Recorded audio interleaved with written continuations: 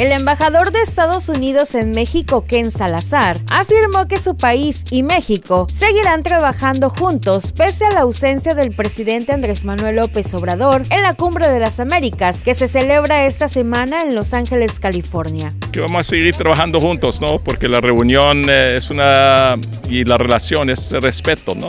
Entonces respetamos a Andrés Manuel López Obrador, él respeta al presidente Biden y el trabajo conjunto va a seguir. Ah, entonces, esta cumbre va a ser una muy buena cumbre, va a estar México aquí bien representado con el canciller Ebrard, pero luego seguimos adelante en todo lo que hemos estado trabajando desde que llegó el presidente Biden a la oficina, desde que llegué yo a México.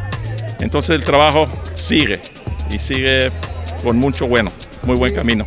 Sobre la exclusión de Cuba, Nicaragua y Venezuela, Salazar refirió que aunque hay problemas con esos países, eventualmente se resolverán hasta llegar a una hermandad en las Américas. Otro los Estados Unidos es que tenemos que apoyar invitar a esas naciones que celebran la democracia. Entonces tenemos problemas con Nicaragua, con Venezuela, ¿no?